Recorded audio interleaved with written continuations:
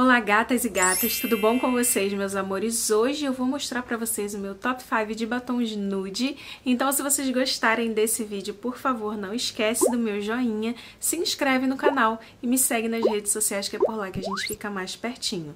Então vamos começar!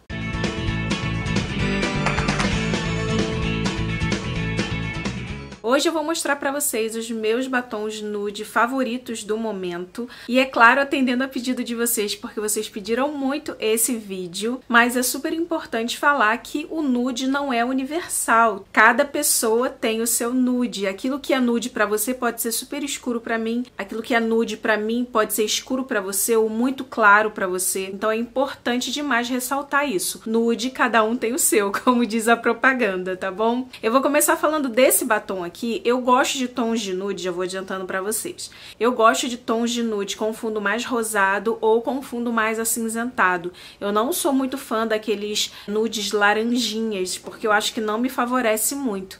Eu nunca gostei, na verdade. Eu tenho muitos nessa cor, mas é porque eu compro para fazer resenha, né? Mas usando no meu dia a dia mesmo, eu gosto desses nudes assim mais presentes, mais frios ou mais rosados, enfim.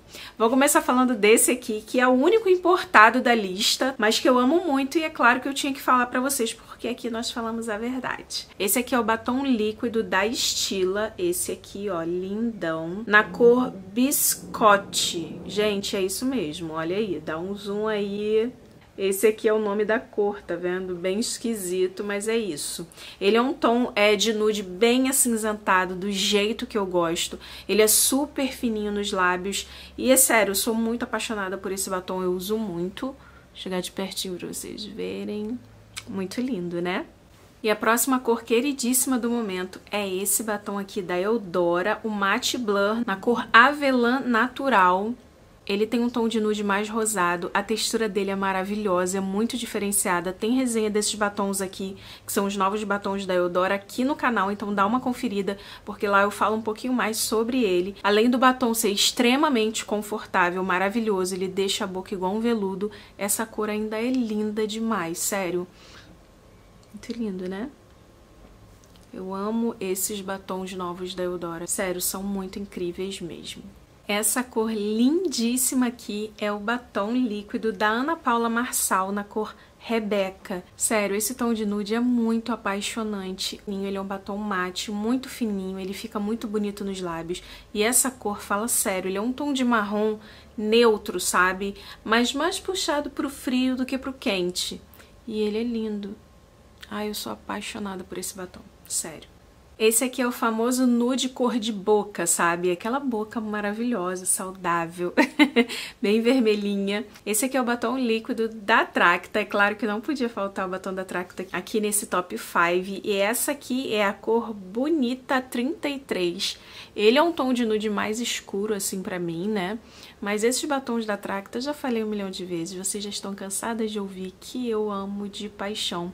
Eles são lindos, extremamente pigmentados, longuíssima duração. E essas cores são muito, muito apaixonantes. Esse tom aqui já é um nude mais escuro em mim, porém amo muito, eu uso demais esse batom, acho ele lindíssimo. E vocês gostaram? E para finalizar com chave de ouro, é claro que tinha que ter um gloss, porque vocês sabem que eu amo de paixão. E esse aqui particularmente é um amor antigo. Entra lançamento, sai lançamento e ele continua no top 5, sabe? Porque eu amo demais esse gloss. E eu estou falando do BT Gloss na cor Denise da linha Bruna Tavares. E eu amo esse gloss desde o lançamento, sabe? Desde a primeira vez que eu apliquei, eu peguei um amor real por ele.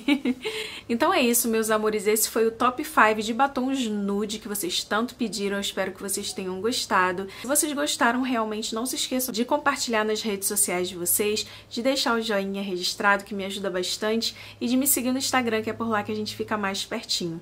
Não se esqueçam que agora no mês de dezembro a gente tem vídeo todos os dias e eu vou estar aqui te esperando todos os dias, tá bom? Um super beijo para vocês e até amanhã. Tchau!